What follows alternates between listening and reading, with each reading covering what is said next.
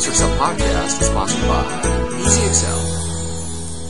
Excel In Depth, Chapter 33 Sparkline Axes.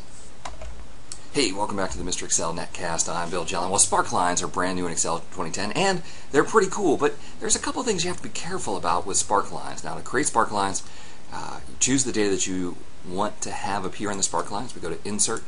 Uh, this data would be really good for a Spark column, so I choose Column and then it wants to know where you want to put the data. All right, so I have three rows, 12 columns. I either have to choose three cells or 12 cells, and that'll tell Excel uh, which way the data goes. I'll choose three cells right here.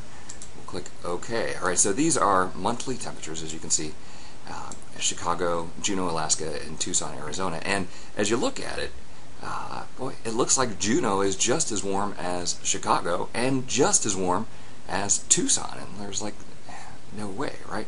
So here's what's going on. Uh, based on uh, Edward Tufte's book, Tufte had a lot of examples where he was showing spark lines of different measures uh, and showing how they, they trend together over time. So Microsoft made that be the default that you could have different measures here. But in this case, these are all temperatures, they're all the same scale. And so we want to be able to take some control of this and say, hey, we want to control the axes. So with the spark line selected, you see we have spark line tools design here. There's an axis drop down underneath the axis drop down, we want to choose same for all spark lines, both for the minimum and for the maximum. Same for all spark lines. Otherwise, what it's doing is basically showing us the range.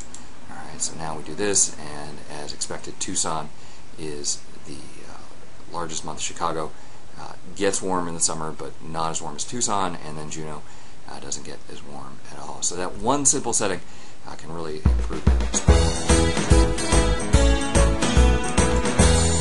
for stopping by. We'll see you next time for another netcast from Mr. Excel.